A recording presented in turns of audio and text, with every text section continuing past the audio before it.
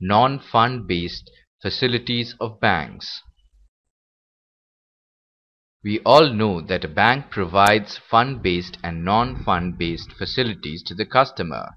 In this lesson, we will go through the following step by step. The meaning of non-fund based facilities of banks, letter of credit and guarantee, the difference between letter of credit and guarantee, the RBI norms of non-fund based facilities.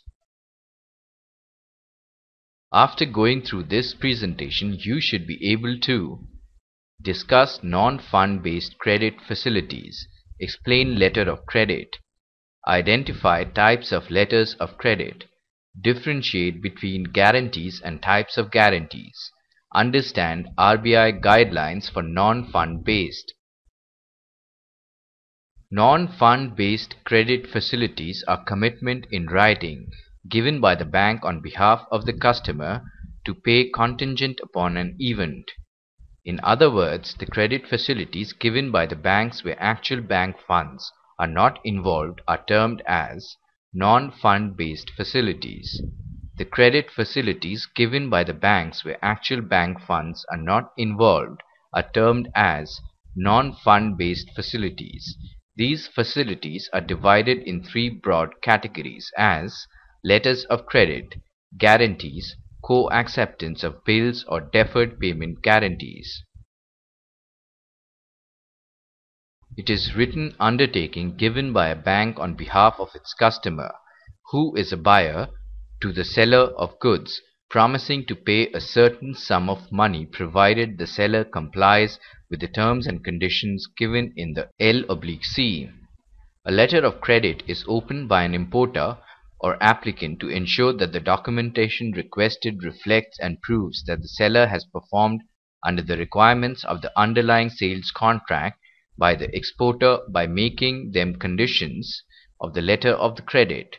It is generally required when the seller of goods and services deals with the unknown parties or feels the necessity to safeguard his interest.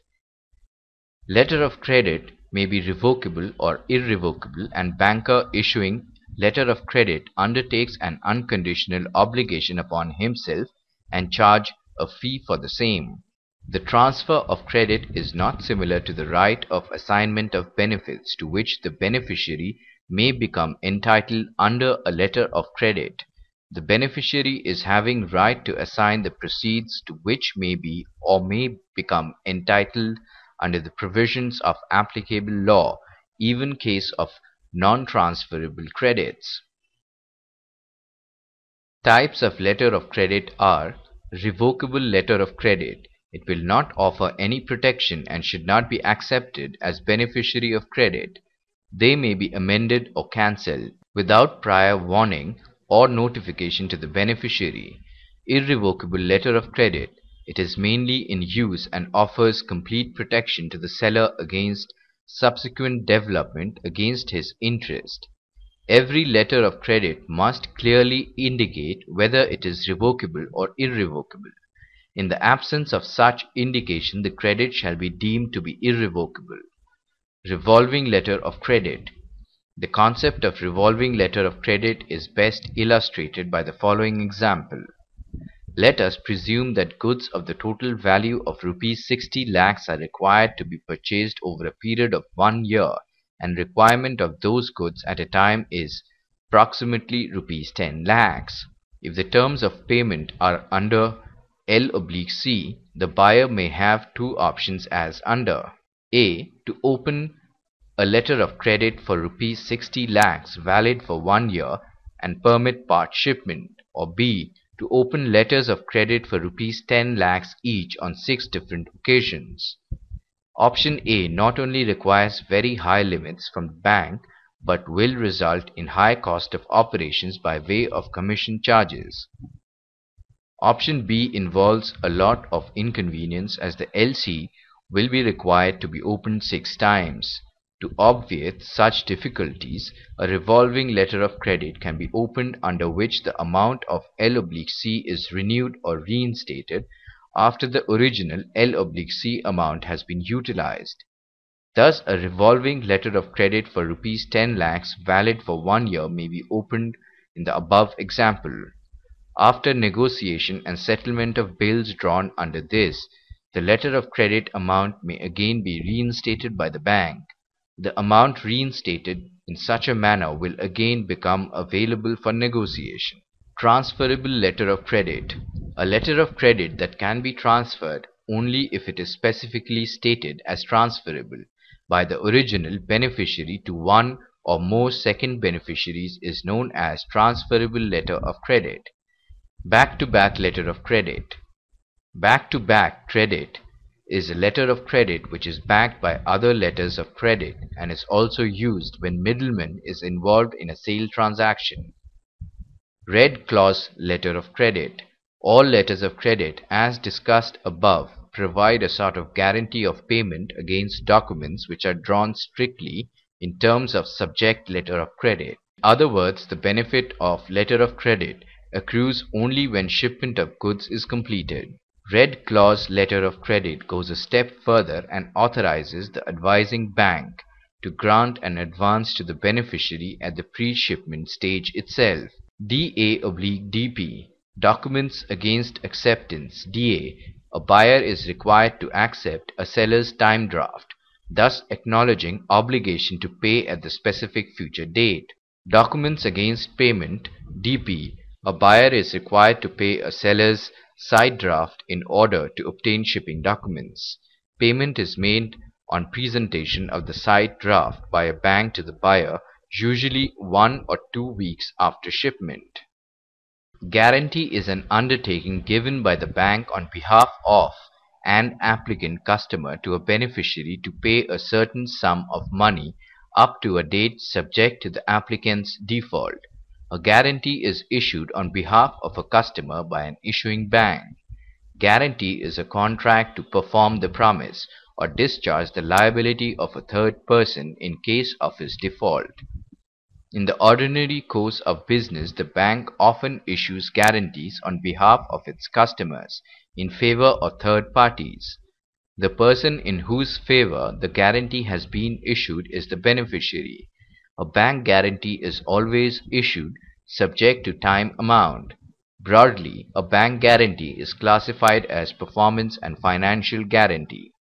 Guarantees are generally issued to government departments for fulfillment of contracts for supply of goods or for rendering services or in lieu of security deposit or tender money. There are two types of guarantee. Performance guarantees are those which secure performance of contract not involving loan transaction or financial obligations. Performance with regard to construction of building, installation of plant and machinery within a given time frame and with agreed specification. In performance guarantees, guarantees given to secure advance payment in place of security deposit or earnest money, deposit or tender deposit, to secure adjustment of mobilization advance to fulfill the requirements under the bid bonds. Next, financial guarantees. Guarantees for payment of determined liabilities towards tax, excise duties, custom duties, octroi, etc.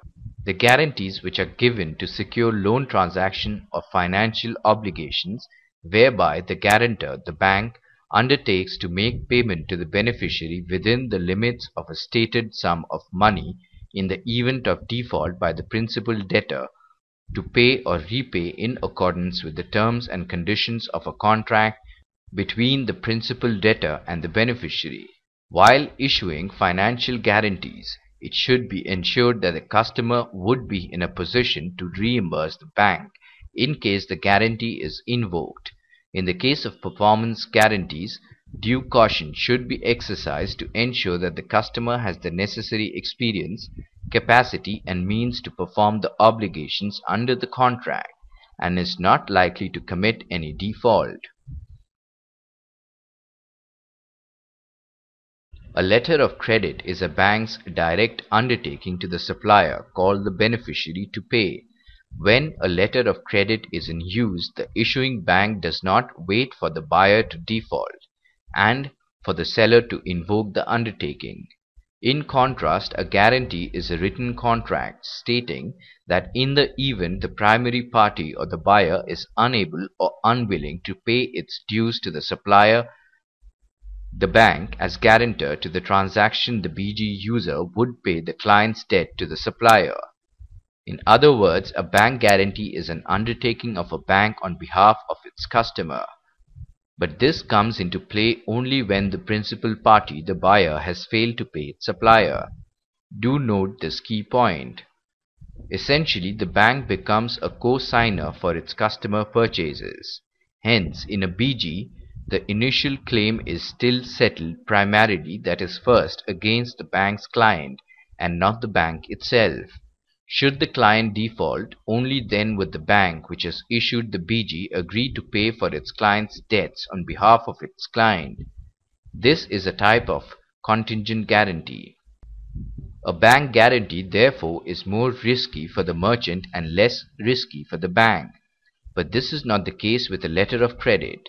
With a bank guarantee, if a client defaults, the bank assumes liability. With a letter of credit, liability rests solely with the issuing bank, this being the key difference and the key advantage in a letter of credit, which then must collect the money from its client. Therefore, the principal character of a LC is that it is a potential claim against the bank rather than a bank's client. An LC substitutes the bank's credit for its client. The seller's risk is mitigated from the risk that the buyer will not pay to the risk that the bank will be unable to pay, which is unlikely. A letter of credit is less risky for the merchant but more risky for a bank, though banks accept full liability in both cases. Reserve Bank of India has also issued detailed guidelines to commercial banks in respect of non-fund based credit facilities Banks should normally open letters of credit for their own customers who enjoy credit facilities with them. But the customers should be maintaining current account only and not enjoying any credit limits should not be granted LC facilities except in case where no other credit facility is needed by the customer. The bank has to ensure that the customer is able to retire the bills drawn under LC as per the financial arrangement already finalized in all cases of opening of letters of credit, the conditions relating to obligate being a customer of the bank enjoying credit facilities as discussed in case of letters of credit are equally applicable for guarantees also accept guarantee facilities also cannot be sanctioned in isolation. Financial guarantees will be issued by the banks only on behalf of those customers with whom the bank has sufficient experience and is satisfied that the customer has the necessary experience and means to perform the obligations under the contract and is not likely to commit any default. For those customers that enjoy credit facilities with other banks, banks should not normally issue guarantees. After detailed appraisal of customers' requirement is completed and the bank is fully satisfied about the genuineness of the need of the customer, then only the limits of co-acceptance of bills will be sanctioned by the banks. Further, customers who enjoy other limits with the bank should be extended such limits. Before discounting or purchasing bills co-accepted by other banks for rupees 2 lakh and above from a single party, the bank should obtain written confirmation of the concerned controlling office of the accepting bank, where banks open LC and also co-accept bills drawn under such LC, the discounting banks, before discounting such co-accepted bills, must ascertain the reason for co-acceptance of bills and satisfy themselves about the genuineness of the transaction. Co-acceptance facilities will normally not be sanctioned to customers enjoying credit limit with other banks. Now let's see how much you have learned till now. State whether the following statements are true or false. Financial guarantees are those which secure performance of contract not involving loan transaction or financial obligations. False. Red clause letter of credit is a letter of credit which is backed by other letters of credit and is also used when middleman is involved in a sale transaction. False. Advising bank is the bank which advises the letter of credit to the beneficiary and is known as advising bank. True.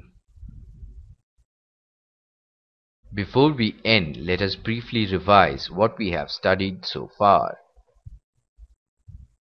The credit facilities given by the banks where actual bank funds are not involved are termed as non-fund based facilities.